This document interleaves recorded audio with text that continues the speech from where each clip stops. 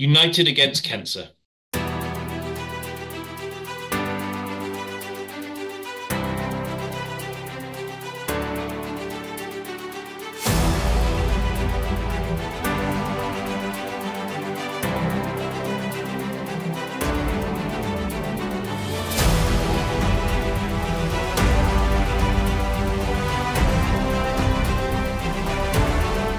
So, a very good morning, afternoon, evening to all our viewers today. My name is Zainab Shinkafi Bagudu. I'm a child health specialist with a special interest in cancer as it affects women in low middle income countries, as well as the disparities that exist and how we can close those care gaps.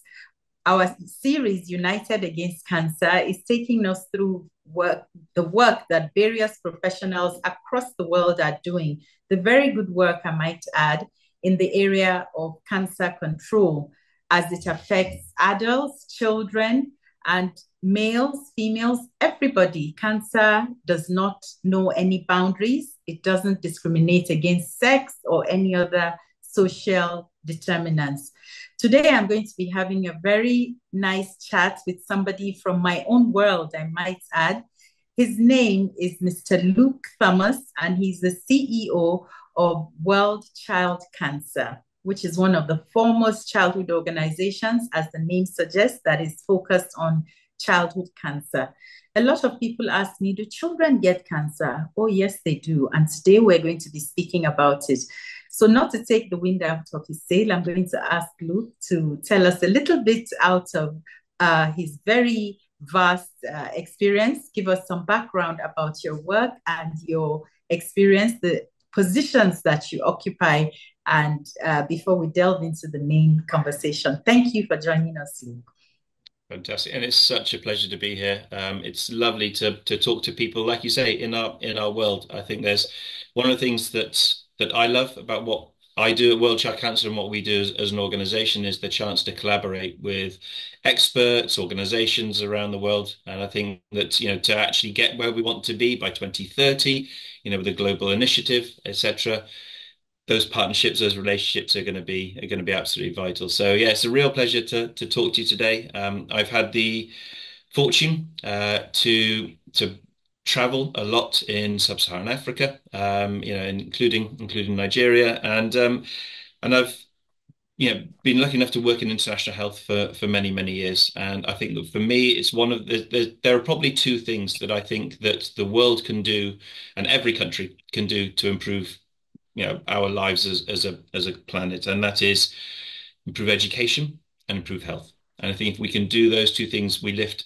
all of ourselves up and uh, so it's, it's, just great to be to be part of. And I've been doing this for for 20 years. Although this is now my first my first role in in the world of of childhood cancer, so I'm still learning a lot in in this area.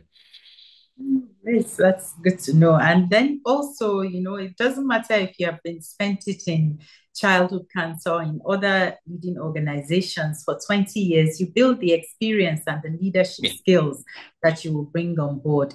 So, what exactly does the World Child Cancer Organization do? Yeah, so we um, so we've been around since 2007, and really the, the sort of the key thing for us is about a holistic approach to childhood cancer, because you know we have we have sort of four pillars to our work really, which is sort of uh, improving early diagnosis, and we'll talk more about this in, just a bit. Uh, improving the access to treatment because those various barriers to accessing treatment are enormous in some countries. Uh, there's what we call psychosocial support, which is really all of the elements around those other two areas. It's ensuring that parents and children and healthcare professionals have the care and support they need and the financial resources they need to actually access see through treatment, stay in treatment, and actually have good outcomes in the in the long term. And then the, mm-hmm. the fourth pillar of our work is around advocacy because obviously we can support you know hospitals governments partners that we work with to to deliver and provide those high quality services but ultimately you know it, it's our job is to is to pass on the baton to you know so that governments and and healthcare ministries healthcare systems can actually ultimately support and partner with us and, and pick up the baton when they're when they're able to Excellent. So, one thing that struck me in your bio is the fact that you have this vast international experience in the nonprofit sector. And with that uh, comes also closely related to that is the word philanthropy. Mm-hmm. And on the back of that is fundraising. And you have a strong background as in fundraising and strategy. And the area of philanthropy is constantly evolving um, whatever parts of the world you are, high, low, middle income, and what do you see as the biggest opportunities and at the same time, the challenges that you have as a child cancer organization in securing the funds that is needed to make this difference that we so desire? Yeah, so I think there's there's a couple of things. I think on the on the challenge, I'll start with the challenges because I always like to finish on a positive. Um, okay. On the on the challenges, I think that you know there's a lot of economic uncertainty in the world right now. I think there are very few countries in the world who haven't been touched by that since probably since 2020 at the very least. But actually, going back to the 2008 financial crash, you know, many countries have never fully recovered from that, and wealth has not been evenly distributed. And as people have, as the economies have started returning to health, the, wealth has not been evenly distributed. And I think that for people to give at whatever level, whether it's a regular donation of five pounds or whether it's you know a, a, major donor, people need to feel like they can afford that. They can need to feel that they have spare money. I think so. That economic uncertainty around the world um, and all the kind of stuff that's that's been going on it's a challenge to, to, because to when you have as a as a fundraiser, you want people to feel confident, you want people to feel wealthy to you know as, as much as they can, and you also want them to feel that your issue, the thing that we're trying to raise money for, is one of the top priorities for them, because you know when you have global wars or natural disasters, you know those things that they're urgent and they're present and they and they attract and that naturally and correctly they attract a lot of a lot of attention. So so we're, we're competing against a lot of a lot of different sort of challenges at the moment on the on the financial front. That said, on the more on the more positive front, positive. so like I say, it's always nice to to finish on a positive. Mm-hmm. I think there, I think the thing that really works in our favor is that firstly, childhood cancer is curable it is so very curable in comparison to other forms of cancer, even you know, to adult cancers or to or to chronic disease or lots of other things that are actually you know really really challenging to say.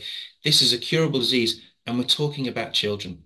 And I think that those two things that, and it's up to us really to demonstrate that we can that we're part of that. You know, we're actually making that happen. That every day you and I are out there saving lives, and that donors by the very act of giving are saving lives. And I think that part of what we do in fundraising is to remove world child cancer from the discussion because really we're a bridge between the donors who want to help and the outcomes for children. So we, you know, one of the things that we're really working on a lot at the moment is is building up a range of strategic partnerships because the challenges are complex, um, and we want to have partnerships that really address the complexity of that. They don't just want to solve have one little piece where they can wave their flag and say we did that, but they actually yes. recognize that there's this there's an opportunity to make a really big difference over the next you know five ten years and that they can be mm-hmm. part of that in a, in a really significant way and i think there's that we're pleased to say that you know we're starting to see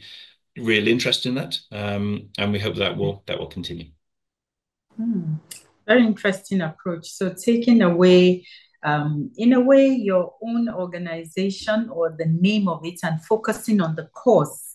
And I think that is a big lesson for us to take away today. Make sure the cause is strong enough so that it can appeal to the required donors, recognizing the, should I say, issues that are around that cause. In this particular case, we're looking at a very wide disparity uh, especially in low income countries and the level of um, survivorship, should I say, that yes. we see in child cancer. But the mere fact that if they are able to survive, it is curable. That is a light at the end of the tunnel that most it's such a positive message. To. Yeah, it's yes. such a positive message to take to people. And I think mm-hmm. when we when I talk about taking ourselves out of the equation, I think that one of the things the thing I always talk to my fundraising and, and communications team about is that ultimately people don't care about world child cancer, they care about the children. So if we can Yes. make that donor feel like the impact is as, and it is as a result of their support, what an Mm. amazing way to connect someone to the cause. And you know, do, you know, I always say, you know, no money, no mission. So donors are just as important to our cause as the as the nurses, as the program mm-hmm. managers, as all the kind of different people who play a role in it. It's really important to make them feel that that is an important part of their of their connection. Yes, yes, that's very interesting. We do a very big walk every October. Uh, we focus on all the cancers at the Medicaid Cancer Foundation because of the great need that there Mm, is in terms of awareness. So the walk is really, it's a breast cancer month, but it's dedicated to all the common cancers. So every year, of course, we do the walk paraphernalia, and people are encouraged to buy it as a sort of as a fundraiser, clearly, so that we can mhm. support cancer patients. And last year we had a T-shirt that said, "This shirt saves lives." We've never sold as many kits as that. Brilliant. It wasn't about our logo and the colors or anything. It was about the message, and that message really got to people, even in a just so you know, I'm making a note of this because. I'm absolutely going to be stealing this. I'll, I'll pay you the Yes, copyright fees. it, it was it was amazing. The the response I didn't expect it, and the response was so good. And it, so that that is really something that we've proven and uh, relates to. So if we can go a little bit more into resource constrained environments, and um, you mentioned that you work in different parts of the world, and how we how do you think that of course the level of operation and access to various resources, not just funding, skilled personnel, skilled um, fundraisers, the computers, the data sets that you can use to access these people um, differs between in high and resource constrained settings. And in the course of your work in resource constrained settings, how do you think um, organizations like, should I say, yours and ours can work better together to help in bridging the ultimate gap, uh, which is the you know the disparities that we see in childhood cancers, for instance.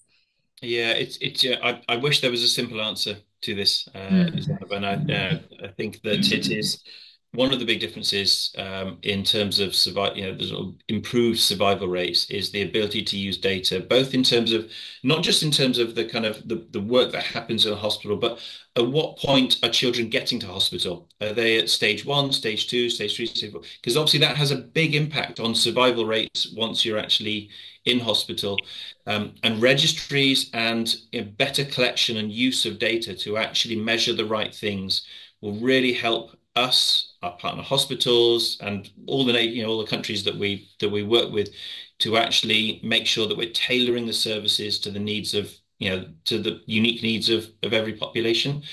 Um, so that's something I would, over the course of the next kind of you know five to ten years, that's something I would dearly love to see um, because I, I genuinely think there's there's two factors which ultimately will determine whether we're going to be successful.